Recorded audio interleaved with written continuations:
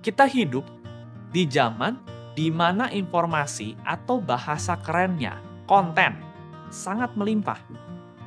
Sangat mudah bagi kita, baik untuk mencari atau menyebarkan konten. Karena konten begitu melimpah, sering kali kita tuh mudah percaya dengan informasi apa pun yang muncul. Lalu, tanpa mengecek terlebih dahulu, bisa saja kita sudah share konten tersebut. Itulah mengapa kita harus memastikan agar perkataan kita atau informasi yang kita bagikan itu membangun dan bermanfaat, bukan sia-sia.